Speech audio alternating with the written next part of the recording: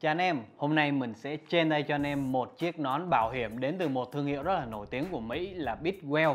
Vậy thì chiếc nón này có gì đặc biệt mà anh em theo dõi tiếp video này.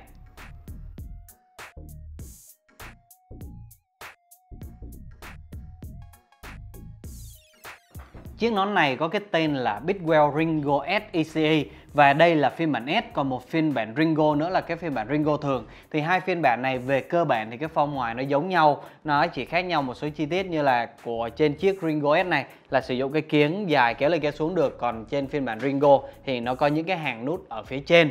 Và thêm một cái nữa là cái giá cả khi mà bán chiếc nón Ringo thường chỉ có mức giá là 4 triệu mấy thôi. Còn với chiếc nón Ringo S này đang được bán tại Việt Nam với cái mức giá là khoảng hơn 5 triệu. Theo như mình nhớ là khoảng 5 triệu 2 gì đó. Anh em có thể mua những chiếc nón của Bigwell tại một số shop có bán sản phẩm của hãng này, như là Arrow Shop hoặc là Biker Shield chung là anh em cứ tìm kiếm trên Google thử nó có rất là nhiều ờ, shop bán với cái mức giá nó cũng chênh lệch nhau không quá nhiều đâu. Và cái thương hiệu Bitwell này mình thấy khá là nhiều anh em chơi những dòng xe classic biết tới và sử dụng. Chẳng hạn như là hôm bữa anh Tùng Trịnh cũng đã trên tay cho anh em một chiếc nón cũng sản phẩm của Bitwell luôn và chỉ là chiếc nón 3 phần tư thôi là chiếc nón Bitwell Bonaza và chiếc nón nó có mức giá là 2,2 triệu đồng anh em có thể coi trong cái link mà mình sẽ để trong bài viết của mình chiếc nón full face classic Big Well Ringo S mà mình trên tay cho anh em. Nó có cái nước sơn là màu đen nhám và cái viền của nó là cái viền cao su, màu đen như thế này đây. Và cái vẻ bên ngoài này, anh em có thể lựa chọn rất là nhiều màu sắc cũng như là cái phần viền mạ chrome hay gì đó cho mình. Theo như mình thấy, có rất là nhiều màu như là xanh, đỏ, tím, vàng, nhám có, bóng có. Nói chung là đủ thứ màu hết. Anh em thích màu nào có thể lựa chọn màu đó cho riêng mình. Còn với chiếc nón này thì các cái bạn chủ xe rất thích màu đen, full đen giống mình luôn theo như mình được biết thì cái lớp sơn ở ngoài chiếc nón Ringo S này là sơn tĩnh điện và cái cảm giác sờ nó rất là sướng, nó rất là mềm và mịn kiểu như xoa vào mông em bé anh em. Tuy nhiên thì à, những cái nón nhém như thế này nó có một cái nhược điểm là khi anh em chạm tay lên nhiều nó sẽ bám cái vân tay của anh em lên trên nhìn khá là mất thẩm mỹ. Và tiếp đến là về cái phần à, kính nè, cái phần kính chắn gió trên chiếc nón jean là cái phần kính màu trắng à, nó xuông xuống chứ không có u ra như thế này. Còn chiếc kính này, anh em có thể mua thêm và nó cũng là cái kính của Bigwell luôn, có bán rời. Theo như mình nhớ giá không lầm thì chiếc kính này có khoảng à, giá tầm 1 triệu mốt đó anh em có thể mua những chiếc kính này về nhìn chiếc nón của mình sẽ trở nên hay ho hơn.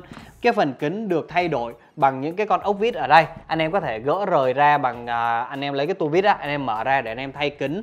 Và cái phần ốc đen này anh em cũng có thể lựa chọn những cái màu sắc khác cũng của Bitwell luôn. Họ có bán những cái bộ ốc màu sắc á xanh đỏ tím vàng. Anh em có thể mua về và thay giá đâu đó tầm một trăm mấy chục ngàn á và để cố định chắc chắn hơn. Ở bên này còn sử dụng một cái khóa gài. Khi mà anh em úp xuống thì anh em gài cái phần uh, nút này lại. Nó sẽ cố định cái phần kính anh em sẽ chắc chắn hơn. Khi mở lên chỉ cần mở ra và mở lên thôi. Còn ở phía sau của chiếc nón là có cái tên của thương hiệu Bigwell ờ, Ringo S cùng với đó là cái tiêu chuẩn chất lượng của chiếc nón này là tiêu chuẩn đốt. Ngoài ra thì còn có một cái tiêu chuẩn nữa là tiêu chuẩn ECE thì đây là một cái tiêu chuẩn châu Âu. Thì hôm bữa mình đã có làm một cái bài nói về những cái tiêu chuẩn của nón rồi thì mình sẽ đính kèm cái link ở đó vô trong bài cho anh em uh, nghiên cứu tham khảo thêm. Và chiếc nón này có cái size bán được từ size S cho tới size XXL và cái chiếc nón mình trên tay cho anh em là phiên bản nón có cái size bự nhất XXL và cái size này nó hợp với những anh em có cái vòng đầu từ 63 tới 64 cm gọi là đầu rất là bư luôn mới đội được cái size XXL như thế này. Còn về phần trọng lượng chiếc nón này nặng 1 kg 6 khá là nặng so với những chiếc nón mà à, mình đã từng đội qua. Tuy nhiên thì đã được thay cái phần à, kính này cũng như là gắn thêm một cái bộ à, tai nghe Bluetooth. Và theo như mình cân á, thì chiếc nón này nặng hơn chiếc nón jean là khoảng 100 gram 1 kg 7 nếu mà anh em đội khoảng một kg 7 mà anh em đi xe thì mình nghĩ là khá là cực đó. Anh em nào đội chiếc nón này phải nói là thực sự khỏe cái cổ với cái đầu luôn. Còn về cái vấn đề thông gió, mình thấy chiếc nón này khá là đặc biệt bởi vì nó không có bất cứ một cái cửa gió nào ở phía bên ngoài hết. Ở trên không có, dưới cầm không có, và phía sau cũng không có cửa thoát gió luôn. Và như vậy, ở phía bên trong nó sẽ cực kỳ kín. Tuy nhiên, bởi vì xung quanh không có làm cửa gió cho nên ở phía dưới khá là thông thoáng à, không có cái phần che cầm ở phía trước cho nên khi anh em chạy thì anh em cũng có thể làm mát mẻ một chút. Ví dụ như là mở cái kính lên nè. Bởi vì chạy classic mà à, cơ bản là anh em sẽ không chạy nhanh. Cùng với cái phần gió nó sẽ luồn vô phía dưới thì anh em sẽ mát mẻ hơn một chút. Chứ nếu như anh em mà đóng kín cái phần kính này lại mà chạy giữa trời chưa nóng mà lúc đi tour thì mình nghĩ là rất là cực. Rồi tiếp đến là về cái phần dây à, gài. Và dây gài này sử dụng loại double D-ring. Tuy nhiên thì mình thấy nó khá là hay, hay hơn những cái loại double D-ring ở trên chiếc nón của mình. Đó chính là có thể di chuyển được cái phần gài lên xuống giúp anh em không có bị xấu. À, Đây, để mình gài vô cho anh em xem thử. Khi mà anh em gài cái double D-ring á thì anh em sẽ phải gài vô những cái nút mà người ta đã làm sẵn cố định ở trên dây nón. Thường thì nó sẽ trùng ra như thế này. Tuy nhiên với cái phần cái nút gài á có thể di chuyển được sẽ giúp chiếc nón anh em tăng cái phần à, thẩm mỹ hơn lúc đấy anh em kéo qua này đó nó sẽ đều hơn. Giúp chiếc nón anh em khi mà đội nó không có bị lung trùng lung trùng dưới phần dưới cằm. Đối với phần mút lót thì cái phần mút lót của chiếc Ringo SEC này dày hơn cái phần uh, mút lót của cái chiếc nón Ringo S.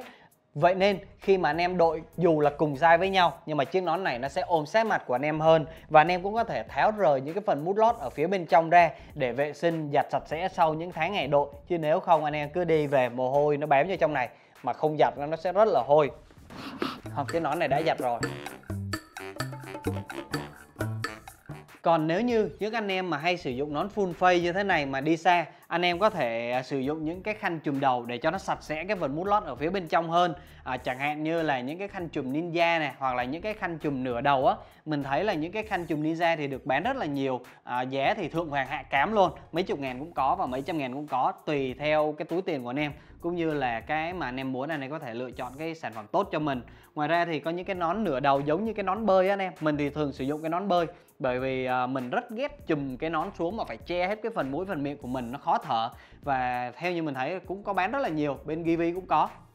Chiếc nón này là một chiếc nón full face kiểu classic cho nên những anh em nào mà chạy những chiếc xe classic chẳng hạn như là à, Red Bull này, Harley Davidson hoặc là những cái chiếc xe mà thuộc dạng cruiser classic á nói chung là con của những chiếc nón classic thôi thì sẽ ngầu hơn. Còn với những anh em nào mà chạy uh, naked bike hoặc là sport bike thì những chiếc nón này sẽ không phù hợp cho lắm và cái nhược điểm của chiếc nón này đối với cá nhân mình thì mình thấy có hai nhược điểm à, khá là quan trọng với mình thôi. Còn à, một số anh em khác thì mình không biết nha. Thứ nhất là về cái trọng lượng trọng lượng 1 kg 7 cho một chiếc nón full face dùng để đội đi xa thì mình thấy khá là nặng. Bởi vì chiếc nón của mình đang đội á, nó chỉ có cái mức trọng lượng là khoảng 1,2 kg thôi. Cái thứ hai đó chính là cái phần lưu thông gió bên trong bởi vì không có cửa gió không có đường vô không có đường ra. Cho nên đối với mình nó khá là bí. Lúc mà mình đội á, lúc mà kéo kính xuống, thì có cảm giác bên trong nó khá là hầm và khi chạy xe nó không có được lưu thông. Mình mà muốn thoải mái, mình phải mở cái kính này lên. Đó, lúc đấy chạy nó mới thoải mái hơn.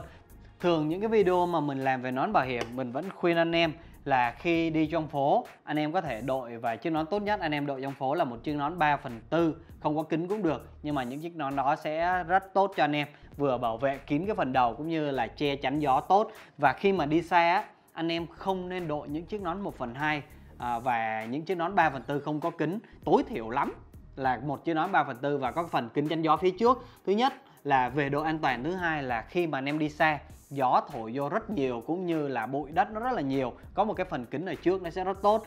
Tốt nhất vẫn lên là những chiếc nón full face vừa bảo vệ tốt cho anh em lại vừa kín gió. Rất là tuyệt vời đúng không anh em? Và với những chiếc nón như thế này nếu mà anh em nào có cảm thấy đơn điệu quá anh em có thể dán thêm những cái thứ ờ, xung quanh lên như là sticker hoặc là nhà gia dụng gì đó. Và theo như mình thấy thì nếu mà được thì anh em dán da sẽ tốt hơn. Giống như kiểu cái ống kính này nè anh em thấy không? Được dán da cái phần viền phía bên trong. Đó, rất là đẹp. Và những anh em nào có thể thích có thể liên hệ với lại bên ờ, khắc tên để mua những cái bóp da, ví da này nọ, đủ thứ hết. Nói chung là nhiều sản phẩm cho anh em lựa chọn. Và khi anh em mua hàng, anh em có thể à, nhập cái mã xe tinh tế 2020 vô để được giảm 15% với 5,2 triệu đồng cho một chiếc nón full face classic phù hợp với những anh em đi classic cũng như đẹp như thế này. Thì mình nghĩ là cũng không quá mắc lắm đâu bởi vì nó sẽ bảo vệ tốt cho phần đầu của mình hơn. Và cái hãng nón Bitwell cũng là một cái hãng nón với giá trị của nó cái mức giá của nó chỉ thuộc tầm trung thôi cũng không quá cao. Anh em khi mà đi xe gì đó cũng nên bảo vệ tốt cho cái phần đầu của mình bằng cách sử dụng những cái loại nón tốt hơn và chạy xe an toàn hơn nếu như anh em nào có những thứ hay ho mà liên quan tới xe, có thể liên hệ với tụi mình qua fanpage của xe tinh tế hoặc là comment ở phía trong youtube để cho tụi mình mượn để trên tay cho những anh em khác coi. Bây giờ cảm ơn và xin chào anh em.